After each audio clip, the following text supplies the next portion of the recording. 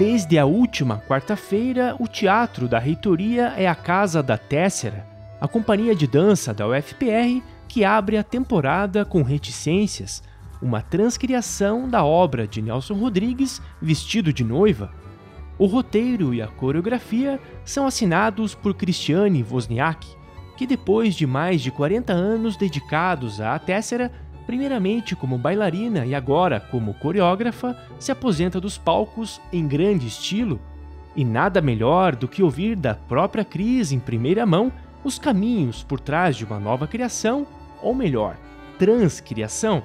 Transcriação, que é um termo que eu encontrei nesses meus estudos e pesquisa aí aos longos dos anos, ele vem contar para gente que você está tudo bem você adaptar de uma forma que recrie condições da existência daquela nova linguagem numa nova plataforma. É, especificamente reticências é Nelson Rodrigues. Vestido de noiva tem um período, ele tem um contexto onde ele foi criado. Né? Então, uma obra escrita em 1941, levada à cena em 1943, revista pela dança em 2023, não pode ser literal.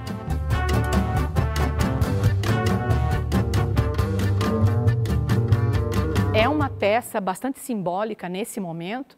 2023 é o ano da minha aposentadoria.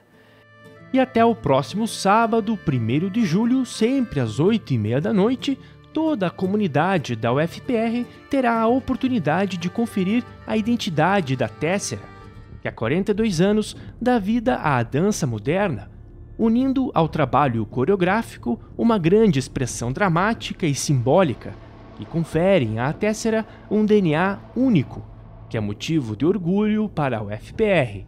Então, aos 42 anos de vida da companhia, é, nós temos uma base muito segura, não só uma base estética, mas uma base na formação dos bailarinos, na questão da aula, na questão da continuidade, porque são 42 anos ininterruptos e a partir deste tempo é, ele está lançado para um futuro.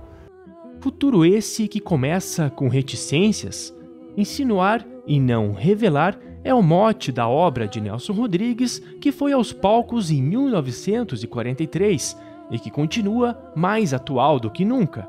O espetáculo novo é sempre um desafio, é sempre um prazer ter o desafio do novo espetáculo, ainda mais com uma personagem tão simbólica e tão importante como a personagem que eu desenvolvo, que é a Laide.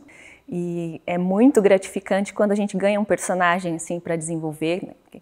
que é um presente ganhar essa responsabilidade. Por isso que eu digo que é um desafio, sempre é um novo desafio. E é um prazer, né, poder desenvolver essa atividade artística com a Tessera, que é uma companhia que eu amo muito.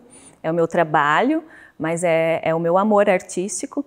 Então fica, fica o prazer, fica o desafio e já fica aquela pontinha de saudade de dançar um trabalho da Cris, porque tem as especificidades, né? Cada artista, cada coreógrafo tem o seu, a sua especificidade trabalhando, coreografando e montando. Olha, para mim é, é uma gratidão, né? Por tudo que, que, a, que a Tessa representa para mim, né? Porque há 16 anos eu estou na companhia e é uma, um aprendizado a cada, a cada dia.